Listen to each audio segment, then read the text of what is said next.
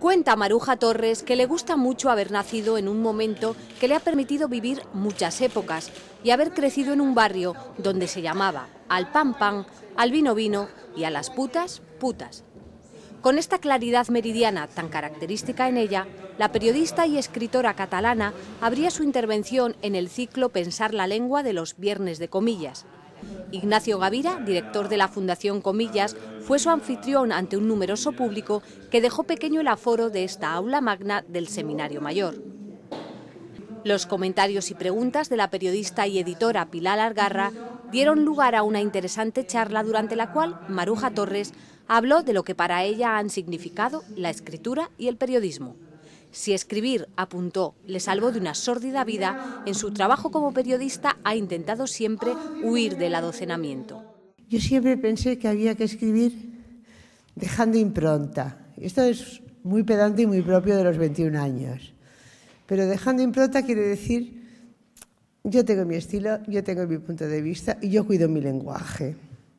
Y eso siempre lo he intentado mantener incluso en los momentos de más rapidez, incluso cuando te ya piden una crónica nada más llegar y no sabes de qué va la cosa. Pero intentas buscar el punto de vista que a lo mejor todos, cuando ves que todo el mundo está mirando para allá, pues dices, pues voy a mirar para aquí a ver qué encuentro, ¿no? Porque siempre eso, eso te da fruto. Lo que no da fruto es el adocenamiento.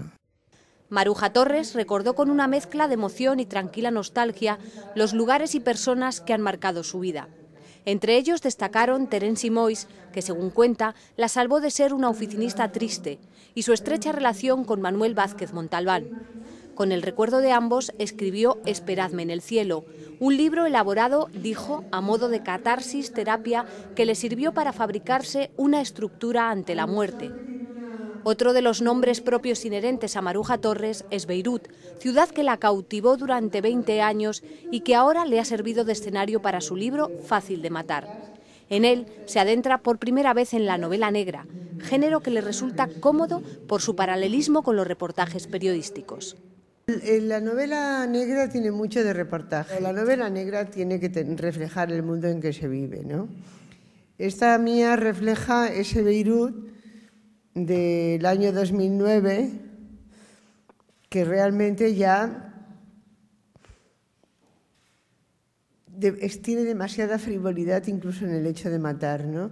La próxima pasará en Luxor dos años antes de que caiga Mubarak, porque yo conozco esa época muy bien, quiero aprovechar perdón, todo lo que sé del Mediterráneo, de esos lugares del Mediterráneo, para hacer novelas negras que reflejen una época determinada con una intriga que al mismo tiempo sea pues, lo más intrigante posible. Cree Maruja Torres que encuentros como este en la Fundación Comillas sirven para recibir un poco de cariño después de la soledad en la que se sumerge para escribir un libro.